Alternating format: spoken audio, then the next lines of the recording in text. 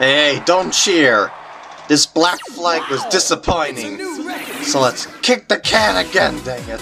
Hello everyone, welcome to a DDR Extreme video. Kick the can. Heavy. Not so much extreme as the name of the game states, as a matter of fact.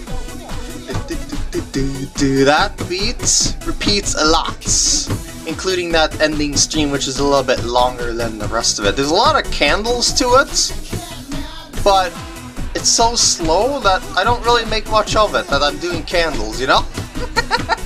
so that's what makes it especially especially disappointing that I did not get the AAA on my first shot because no speed tricks, no stops, it's just straight streams, not even any crossovers or anything like that. It's just the same beats repeating a lot.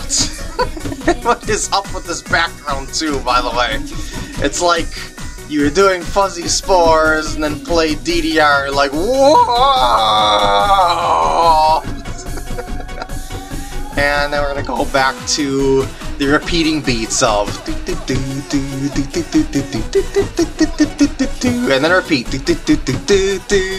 Yeah, so once you know that beat, and I'm pretty sure you're gonna be pretty familiar with that beat because it's a remix of a rather famous opera song that you probably heard in a lot of other stuff up to this point, so that's what also makes it disappointing. I know the song! Ha! Take that, you black Can I call you a dancing master? Thanks for watching, and I'll see you later.